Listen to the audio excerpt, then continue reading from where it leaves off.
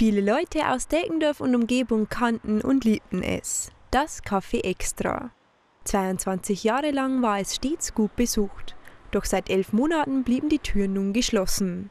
Am Donnerstag ist große Wiedereröffnung mit neuen Inhabern, die das beliebte Kultlokal wieder zum Leben erwachen lassen.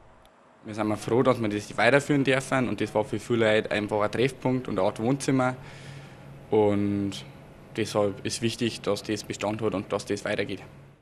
Mit dem Kollegen Markus Lummer betreibt Schmid auch noch das Del Camino und die Galeriebar in Deckendorf. Die beiden wissen also, wie es läuft. Mit der Vertragsunterzeichnung im April laufen die Vorbereitungen für die Neueröffnung seitdem auf Hochtouren.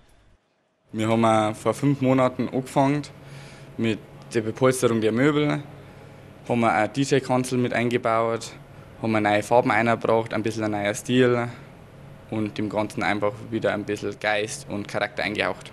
Neben ein paar Renovierungsarbeiten erwarten die Gäste im neuen alten Café Extra noch weitere Highlights. Wir haben einen sehr guten Koch, meiner Meinung nach der beste im Landkreis. Und ja, wie gesagt, wir haben jetzt einen DJ herin und wollen wir dem Ganzen, wir wollen dann vom Restaurantbetrieb weitergehen, wirklich ins Nachtgeschäft, im Barbetrieb. Dann bis um zwei kann man bei uns sitzen, trinken, essen. Und natürlich spielen auch Umweltfreundlichkeit und Nachhaltigkeit eine große Rolle im neuen Konzept. Des Weiteren versuchen wir auf Plastik komplett zu verzichten. Haben wir jetzt Glasstrohhalme, schauen wir auch, dass wir in der Küche von den Lieferanten her wenig Plastikverpackungen haben.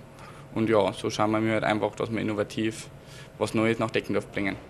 Die neuen Inhaber wünschen sich eine Art Wiederauferstehung des Kultcafés und hoffen auf einen erfolgreichen Neuanfang. Ob dann auch den Gästen die neuen Ideen gefallen, wird sich dann bei der offiziellen Eröffnung zeigen.